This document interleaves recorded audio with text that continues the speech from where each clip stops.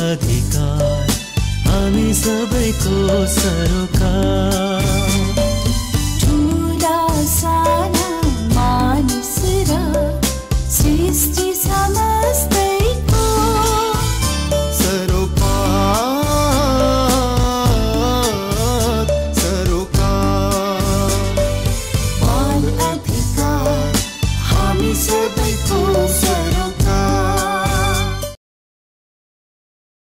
नमस्कार।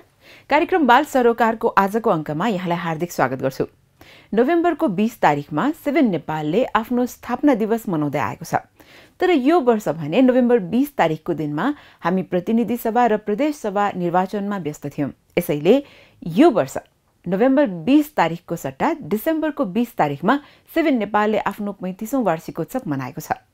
र सेभेन नेपालको मुख्यालयमै भएको एउटा औपचारिक कार्यक्रममा विशिष्ट अतिथिहरूले उपस्थिति जनाउनु भएको थियो र कार्यक्रममा उपस्थित हुनुभएका व्यक्तित्वहरूले व्यक्त गर्नुभएका विचार अनि भावनाहरू समेट्दै हामीले यो सेभेनको पैँतिसौँ वार्षिकोत्सवको अवसरमा आयोजना भएको कार्यक्रमको बारेमा एउटा सामग्री तयार पारेका छौँ। आजको अङ्कमा हामी यही प्रस्तुतिसहित आएका छौँ आज सेभिन नेपालले चालेको पाइला पैँतिस वर्षको यो रमाइलो क्षणमा आइपुगेको छ। साँच्चै पैँतिस वर्षको एउटा लामो यात्रा बाल आन्दोलनको यात्रा साथसाथै सिभिलले आफूले चालेको पाइला आजसम्म यो प्राङ्गणमा हामी उभिएर भव्यताका साथ मनाइरहेका छौँ। यो सिभिनको आफ्नै प्राङ्गणमा हामीले विगतलाई सम्झेर यसरी बाल आन्दोलनको सम्झना र सिभिनको आफ्नै संस्थाको एउटा कथा सम्झिन पाउँदा हामी सबैजना गौरवान्वित लागिरहेको छ। वास्तवमा भन्ने हो भने पैँतिस वर्ष अगाडि एउटा सानो कोठाबाट सिविनको जीवन सुरु भएको थियो। त्यो सानो कोठा वास्तवमा अहिले हामीले यो परिकल्पना पनि गर्न सक्दैनथ्यौँ किनभने त्यतिखेर अहिलेको जस्तो सहज राजनैतिक वातावरण सामाजिक वातावरण थिएन। वास्तवमा एउटा असहज परिस्थितिको बिच पनि त्यो सामाजिक अस्वस्थताको बिच पनि समाज परिवर्तन हुनुपर्छ न्यायोचित समाजको स्थापना गर्नुपर्छ भन्ने भावना राखेका हामी केही युवा विद्यार्थीहरू गौरीजी लगायत केही हामी युवा विद्यार्थीहरू एउटा समाज परिवर्तनको एउटा खोजमा लागिरहेका थियौँ। यही क्रममा हामीले एउटा यो यही भावना एउटा परिवर्तनको भावना जनता रको सेवा गर्नुपर्छ भन्ने एउटा अभिप्राय भावनाले प्रेरित भएर हामीले एउटा सानो एउटा सपना कोरेका थियौँ। त्यो सम सपनाको मूर्त रूप भनेको आजको सिविन हो। हामीले यो देशमा एउटा नयाँ पहिचान राइट्स अफ द सर्भाइभर्स उहाँहरूको कल्याण गरेर एउटा यसो सिप सिकाउने उहाँहरूलाई यसो एउटा पुनर्वास गर्ने त्यस्तो कुराहरू मात्र होइन। मलाई खुसी लागेको छ कि बाल बेचबिखनको विरुद्धमा अहिले हाम्रो देशको नेतृत्व कसले गरेको छ भने त्यो बेचबिखनमा पीडित र प्रभावित भएका हाम्रा बहिनीहरू। अनु तामाङ गोमा तामाङ अ, राई सुनिता दनुवार लगायतका थुप्रै मैले उहाँहरूलाई सधैँभरि भन्ने गर्दछु हिजो हामीले यो काम अभियान अगाडि बढायौँ। आज तपाईँहरूलाई हाम्रो नेताको रूपमा स्वीकार गरेर अगाडि बढ्न पाउँदाखेरि असाध्यै खुसी लागेको छ। उहाँहरूले महत्त्वपूर्ण अन्तर्राष्ट्रिय पुरस्कारहरू पाउनु भएको छ। म्यागसेसे पुरस्कार। उहाँहरूले स्पेनको रानीबाट उहाँहरूले पुरस्कार सम्मान पाउनु भएको छ। उहाँहरूले सिएनएन हिरो जस्तो सम्मान पाउनु भएको छ। ठुल्ठुलो त्यो सबै वास्तवमा हामी सबैले त्यसमा ईर्ष्या होइन गौरव गर्नुपर्दछ।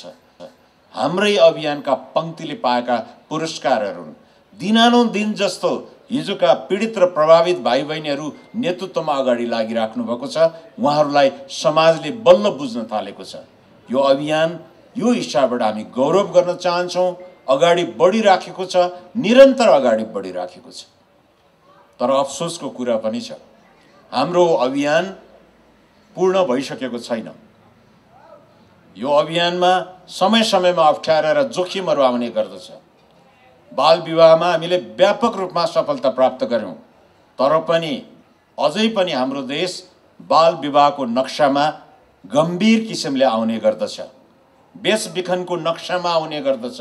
बाल श्रमलाई स्वाट्टै घटाउन सकेका छौँ तर पनि दस लाखको हाराहारीमा अझै पनि बालबालिकाहरू कुनै न कुनै किसिमबाट श्रम शोषणमा परेका छन् विभेदमा परेका छन् अप्ठ्यारो र जोखिममा परेका छन्।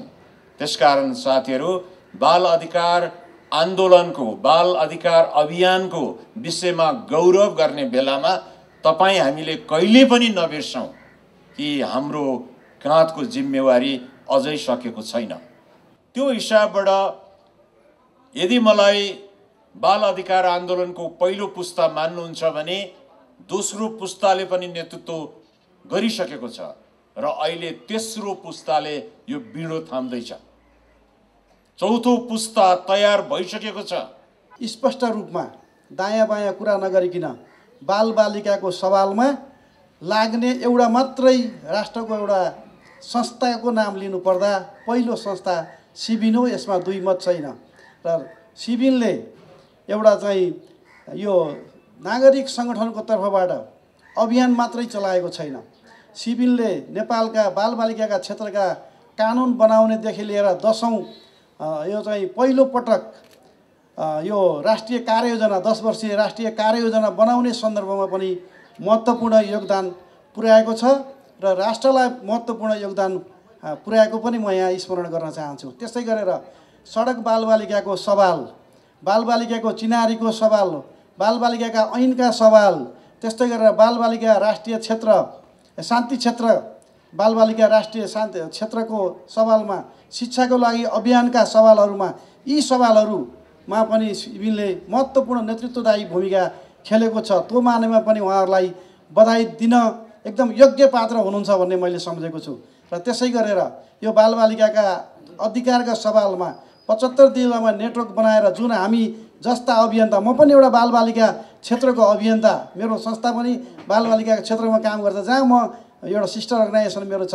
यो यो यो एउटा चाहिँ महत्त्वपूर्ण टिगरिङ गर्ने काम सिभिलले गरेको छ। त्यसकारण हामी यो नेपालमा बालबालिकाको क्षेत्रमा काम गर्ने सम्पूर्ण गैर सरकारी संस्थाको अभिभावकको रूपमा पनि हामीले सिभिललाई हेरेका छौँ। यो तथ्याङ्कलाई आज मैले अवसरको रूपमा किन लिएँ भन्दाखेरि अबको दिन भनेको अबको युग भनेको चाहिँ हामीले इभिडेन्स बेस्ड पोलिसी भन्छौँ तथ्य र तथ्याङ्कमा आधारित भएर हामीले बोल्नुपर्ने हुन्छ। तथ्य र तथ्याङ्कमा आधारित भएर हामीले काम गर्नुपर्ने हुन्छ। त्यो कारणले पक्कै होला।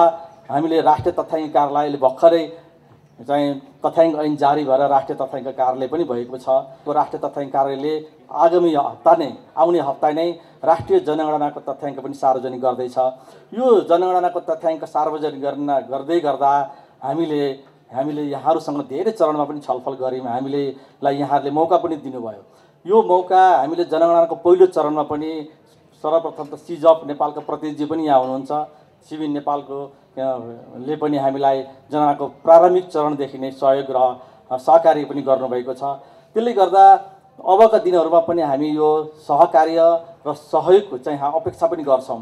र कसरी जान सकिन्छ त यो बालबालिकाको क्षेत्रमा यति राम्रो नारा यहाँले तह गर्नुभएको छ आज।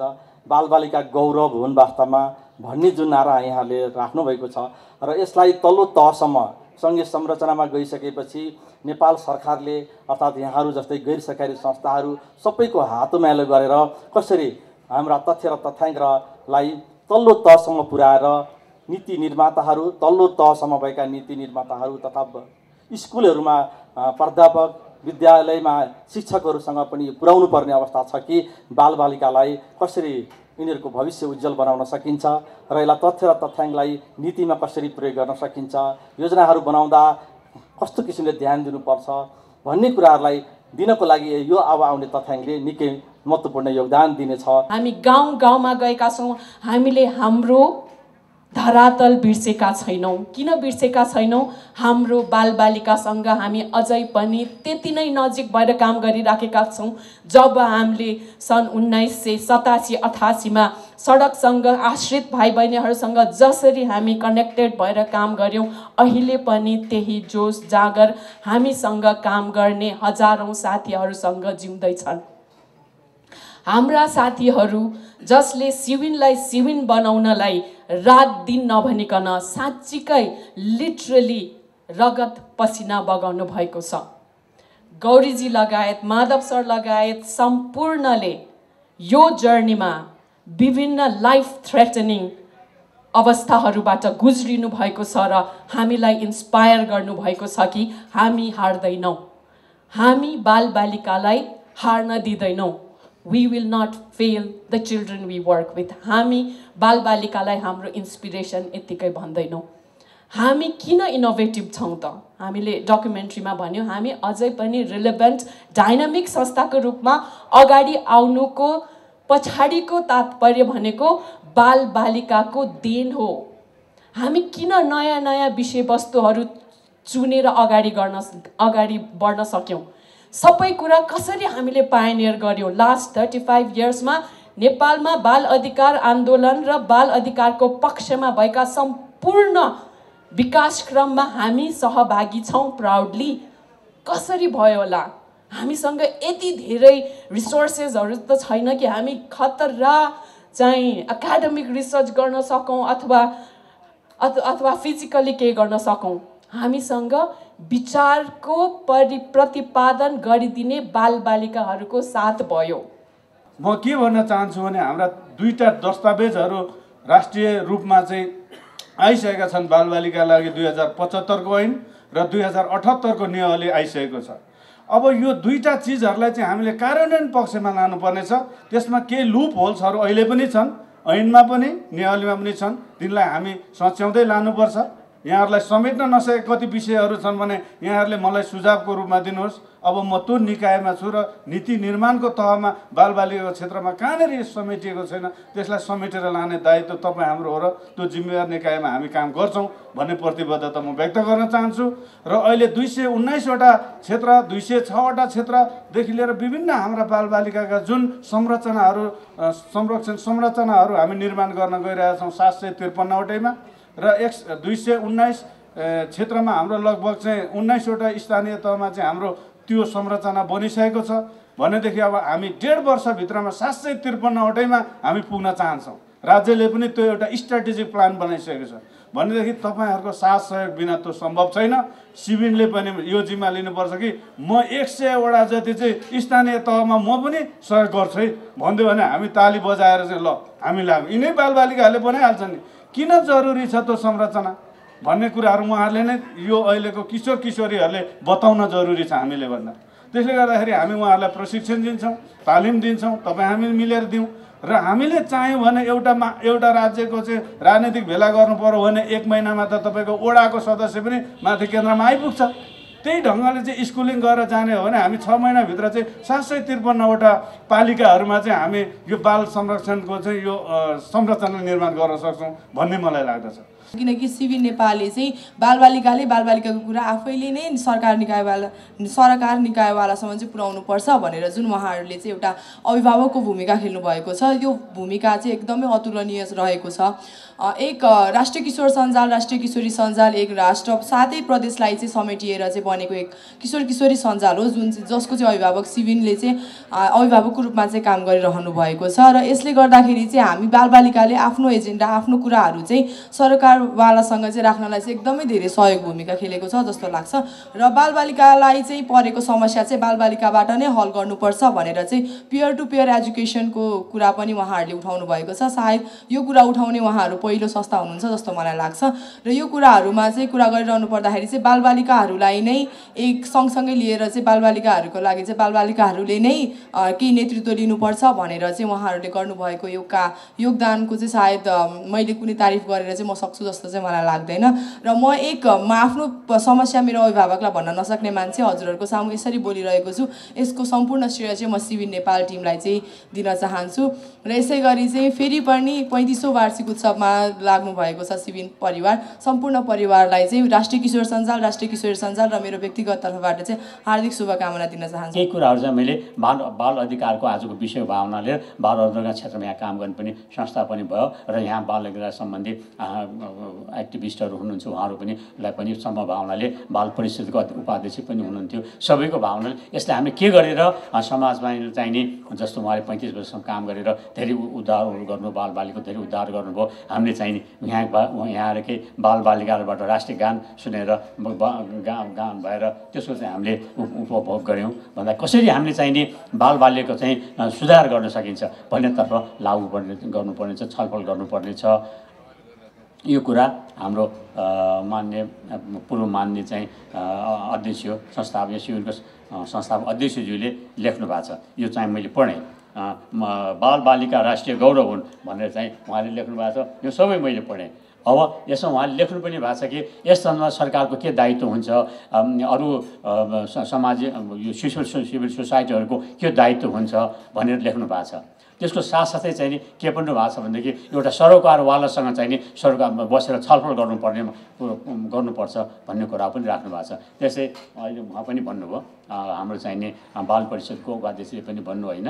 हामी पनि छलफल गरौँ। कसरी गर्न सकिन्छ त्यसमा? हामी सहकार्य गरौँला भन्ने कुराहरू पनि आयो। यसतर्फ हामी पनि लाग्नु पर् लाग्नुपर्ने छ हामी पनि लाग्छौँ। किनभने राष्ट्रिय मानवाधिकार आयोगले सबैको सबै अधिकार सम्बन्धमा लागेर त्यसको संरक्षण सम्वर्धन प्रदानतर्फ लाग्नुपर्ने हुनाले हामी पनि त्यसतर्फ लाग्नुपर्ने हामी लाग्नुपर्छ। हामी पनि लाग्छौँ। त्यसतर्फ हाम्रो आफ्नो कटिबद्धता पनि जाहेर गर्छौँ।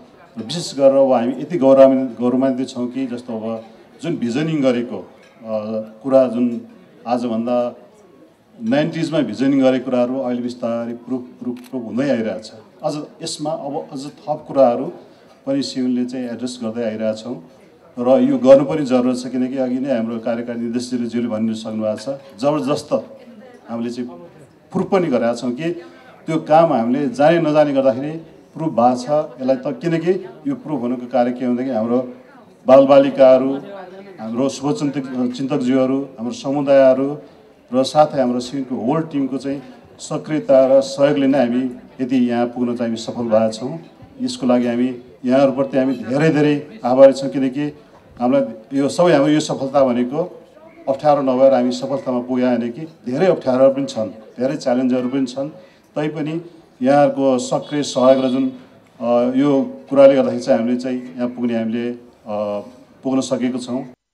पैंतिसौं वार्षिकोत्सव मनाउने क्रममा सिविन नेपालले यो वर्षको सिविन नेपाल राष्ट्रिय बाल अधिकार सम्मान एसओएस बालग्राम नेपाललाई हस्तान्तरण गरेको छ। हामी सम्मान गर्दैछौँ। वास्तवमा यसो यसको सम्मान गरिरहँदा हामी आफै पनि सम्मानित भएको हामीलाई अनुभूत भइरहेको छ। यस संस्थाले ती बालबालिकाहरूका लागि त्यो अवस्थामा त्यो पछिल्लो अवस्थामा रहेका बालबालिकाहरूका लागि नगरेको भए परिस्थिति कस्तो हुन्थ्यो भनेर हामी कल्पना मात्रै गर्न सक्छौँ। नेपालमा रहेका अभिभावकविहीन र जोखिम परिस्थितिका बालबालिकाको सुरक्षा संरक्षण र सामाजिक पुनर्एकीकरणमा समर्पित रहँदै आएको एसओएस बालग्राम नेपालले यही वर्ष स्थापनाको पचासौं वार्षिकोत्सव मनाएको छ। पचास वर्षको यस अवधिमा एसओएस बालग्राम नेपालले अभिभावकविहीन र जोखिम परिस्थितिमा रहेका ठूलो संख्याका बालबालिकालाई अभिभावकत्व दिएर उनीहरूको जीवनमा आमूल परिवर्तन ल्याउन मद्दत पुर्याएको छ। एसएसको फर्स्ट प्रायोरिटी भनेको बाबुआमा गुमाएका बालबालिकाहरूको लागि नै बनाइएको यो एउटा संरचना हो। यसमा चाहिँ जुन फ्यामिली लाइक केयर भन्छौँ हामी परिवार जस्तै एउटा संरचनामा हामीले बाबुआमा गुमाएका बालबालिकाहरूलाई सेवा दिने गरेका छौँ। र यसमा चाहिँ विभिन्न परियोजनाहरू छन् विभिन्न कार्यक्रमहरू छन्। त्यस अन्तर्गत हाम्रो बालग्राम त्यसै गरी युवालय अनि त्यसपछि परिवार सबलीकरण कार्यक्रम त्यसै गरिकन विद्यालयहरू र विभिन्न कार्यक्रम मार्फत एसओएसले आफ्नो चाहिँ सेवा दिइरहेको छ समुदायमा। र अर्को महत्त्वपूर्ण पक्ष भनेको एसएस बालगामले जब कुनै बाबुआमा गुमाएका बाबु नानीहरू यहाँ आइसकेपछि उनीहरू सबल नहुलिन्जेलसम्म समाजमा पुनर्स्थापना हुनको लागि लाग योग्य नहुलिन्जेलसम्म विभिन्न खालका इन्टरभेन्सन मार्फत उनीहरूलाई चाहिँ समाजमा पुनर्स्थापना हुनको लागि सहयोग गर्छ। यो नै सबभन्दा महत्त्वपूर्ण कडी हो जस्तो लाग्छ एसएस नेपालको कन्टेक्स्टमा चाहिँ। एसएस बालगामको अवधारणा आजभन्दा त्रिहत्तर वर्ष अगाडि डक्टर हर्मन माइनरले युरोपको अस्ट्रियाबाट सुरु गर्नुभएको युद्धबाट आफ्नो परिवार गुमाएका बालबालिकाको लागि यो चाहिँ अभियान सुरु गरिएको हो र त्यो अहिले पनि आज उपरान्त पनि नेपाल जस्तै विभिन्न देशहरूमा चाहिँ यसको महत्त्व उत्तिकै छ। किनकि विभिन्न कारणले गर्दाखेरि अहिले पनि थुप्रै बालबालिकाहरूले आफ्नो आमा बाबुहरू गुमाएको र विभिन्न कठिन परिस्थितिबाट गुज्नुपर्ने अवस्था रहेको हुनाले गर्दाखेरि यो अभियान जुन छ त्यो आजभन्दा सात दशक अगाडि भए पनि यसको चाहिँ महत्त्व उत्तिकै अहिले पनि छ जस्तो मलाई लाग्छ। हामीले परिवार सबलीकरण कार्यक्रम अन्तर्गत समुदायमा समुदायका विभिन्न तह तबकाका निकायहरूसँग एकदम नजिकमा रहेर काम गरेका छौँ। त्यसको लागि हामीले बालबालिकाहरूको शिक्षा स्वास्थ्य लगायत परिवारको आय आर्जनको लागि पनि हामी काम गर्ने गरेका छौँ। र यो पछिल्लो समयमा एसएस बालगामले यसलाई एउटा महत्त्वपूर्ण आफ्नो एरियाको रूपमा लिएको कुरा यहाँ म अवगत गराउन चाहन्छु। अभिभावकविहीन बालबालिकाको सुरक्षा संरक्षण र सामाजिक पुनर्एकीकरणमा पुर्याउँदै आएको योगदानलाई कदर गर्दै सेभेन नेपालको पैँतिसौँ वार्षिकोत्सवको अवसरमा सेभेन नेपाल राष्ट्रिय बाल अधिकार सम्मानबाट एसओएस बालग्राम नेपाललाई सम्मानित गर्न पाउँदा हामी निकै गौरवान्वित छौं। साथै एसओएस बालग्राम नेपालको उत्तरोत्तर प्रगतिको कामना गर्दै हार्दिक शुभकामना व्यक्त गर्दछौं।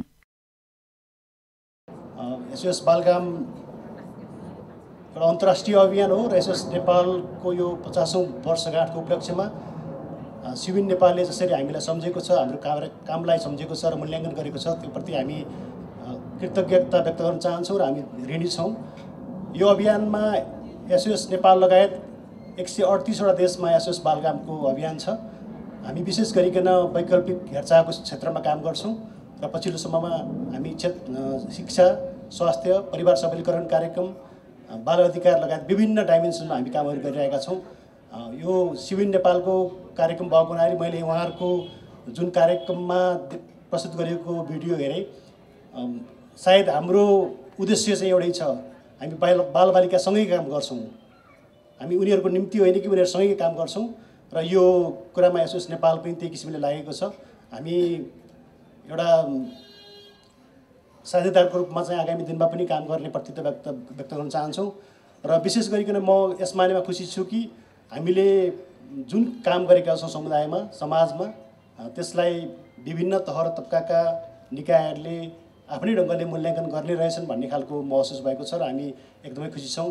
यो जुन सम्मान दिनुभएको छ यो कुनै संस्थाभन्दा पनि हाम्रो संस्थासँग संलग्न बालबालिका युवा र जोखिम स्थितिमा रहेका परिवारहरूको सम्मान हो भन्ने मलाई लाग्छ। यसै गरी दस वर्षदेखि अनवरत रूपमा काम गरिरहेका पाँचजना कर्मचारीलाई पनि यो अवसरमा विशेष सम्मान गरिएको थियो। सिभिनका पछिल्ला जुन हामीले स्टिल फोटोहरू देख्छौँ रमिता छुजु को सृजनशीलता त्यहाँ झल्किन्छ। फाइनेन्स डिपार्टमेन्टमा रहेर उहाँले सघाइ राख्नु भएको छ। हामी उहाँलाई प्रमुख अतिथिज्यूबाट सम्मान गरिरहेका छौँ। चाहन्छौँ काकी भन्छौँ दिदी भन्छौँ सावित्रीजी तपाईँलाई हार्दिक बधाई छ।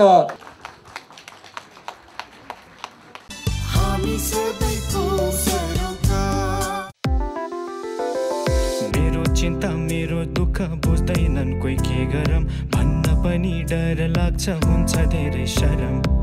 के गर्छन् खै नानी बाबु? बसी इन्टरनेटमा। के के हेर्छन्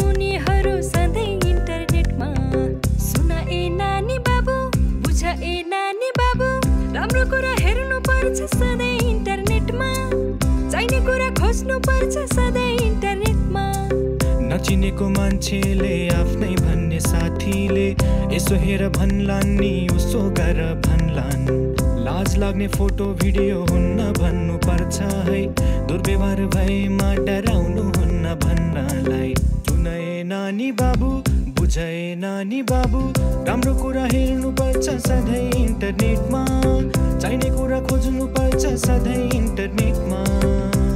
इन्टरनेट मार्फत हुने यौन दुर्व्यवहारबाट आफ्नो बालबालिकालाई सुरक्षित राखौँ। हामी सबैको सरोकार। सेभेन नेपालको स्थापनासँगै नेपालमा सुरु भएको बाल अधिकार आन्दोलन पनि अहिले पैँतिस वर्ष पुगेको छ र यो पैँतिस वर्षीय अवधिमा थुप्रै उपलब्धिहरू हात परेका छन्। अझै पनि केही चुनौतीहरू हाम्रो अगाडि छँदैछन्। र यी चुनौतीहरूको सामना पनि मिलेरै गर्नुपर्ने हाम्रो आजको आवश्यकता हो। र यही बेलामा कहीँ कतै तपाईँले कुनै पनि बालबालिकाहरूमाथि हिंसा दुर्व्यवहार वा अत्याचार भइरहेको देख्नु भएमा तुरन्तै फोन गर्दा पैसा नलाग्ने बाल हेल्पलाइन नेपालको नम्बर दस नौ आठमा सम्पर्क गर्न सक्नुहुन्छ। यसै गरेर बालबालिकाहरूमा कुनै पनि किसिमको मानसिक तनाव वा समस्या भएको तपाईँलाई शङ्का लागेमा फोन गर्दा पैसा नलाग्ने टोल फ्री नम्बर सोह्र साठी शून्य एक एक शून्य छ छ छमा सम्पर्क गर्न सक्नुहुन्छ। अब अर्को साता अरू नै विषयवस्तुहरू लिएर हामी फेरि फर्कनेछौँ। तर त्यतिन्जेल यहाँले युट्युबको हाम्रो च्यानल सेभेन बाल सरोकार सब्सक्राइब गरेर आजको कार्यक्रम अनि आज अगाडिका सबै कार्यक्रमहरू हेर्न सक्नुहुन्छ। कार्यक्रमहरू मन परेमा कृपया लाइक र सेयर गर्न नभुल्नुहोला। कार्यक्रमबारेका विचारहरू कमेन्ट गर्नुभएमा हामीलाई आउने दिनमा कार्यक्रमहरू अझ बढी प्रभावकारी बनाउन धेरै मद्दत हुने थियो। अब अर्को साता फेरि भेट्छौँ। त्यतिन्जेलसम्मका लागि साथीहरू गणेश सिंह ठकुरी र रमिता चुजुसँगै म प्रमिला मानन्धर पनि बिदा हुन्छु। नमस्कार।